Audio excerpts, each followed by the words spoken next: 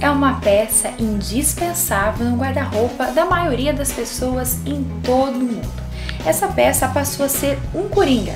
Tem gente que usa jeans todos os dias. E o sucesso não fica só nas calças, shorts, jaquetas, vestidos. Dá para formar um guarda-roupa inteirinho com peças nesse tecido, o jeans.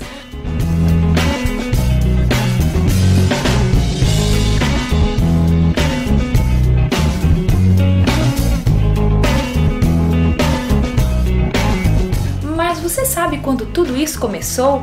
A história do jeans? É isso que eu quero contar um pouquinho para vocês.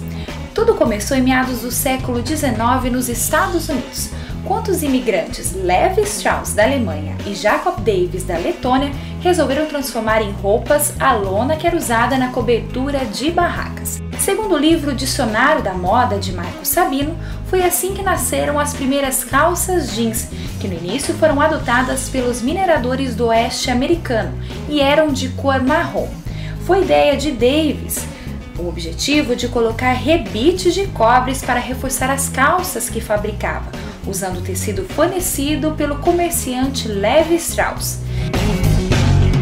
Strauss foi quem registrou a marca da invenção da peça, que logo começou a ser produzida com brim azul, sobre a marca Levis. Em 1890, a Levis criou seu modelo mais famoso, a calça 501.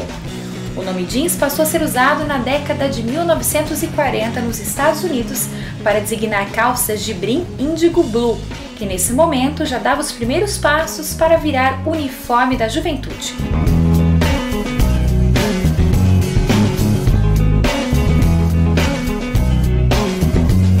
Já na década de 50, o jeans começou a ser usado por toda a juventude rebelde americana, influenciando o mundo todo.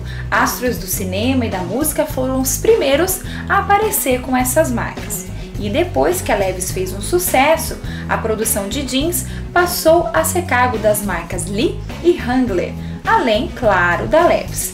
Depois, a grande marca que arrasou e fez o primeiro desfile com jeans foi a Calvin Klein. Bom, é isso. Um pouquinho de história de moda sempre é bom.